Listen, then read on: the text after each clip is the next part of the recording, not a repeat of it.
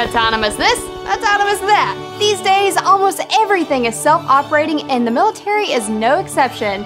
The Marine Corps hosted the final demonstration of a new type of aircraft technology that could be a game changer for resupplying combat units. Officials from the Aurora Flight Sciences showed off the company's Autonomous Aerial Cargo Utility System, otherwise known as AACUS. It's a special kit capable of being mounted on various airframes and designed to deliver combat supplies such as ammunition, fuel, food, water, and even blood. AACUS is capable of making decisions on its own with a suite of sensors computing real-time data from its environment to inform its decision. It can navigate to a destination in GPS-compromised areas and can even determine the best location to land in low visibility conditions. During its debut, AACUS flew supplies into multiple forward operating base settings and demonstrated how Marines on the ground could effectively stop or postpone the aircraft from landing in case of an unforeseen emergency by simply pressing a button on a special tablet. The training program for the AACUS is meant for personnel without prior aviation experience and takes less than a day to complete.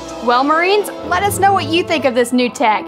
Game changer, or do you feel better with an actual Marine flying in your supplies? Let us know in the comments and be sure to subscribe to the Rated Red Snapchat Discover channel for videos you won't see anywhere else. I'm Abby Casey.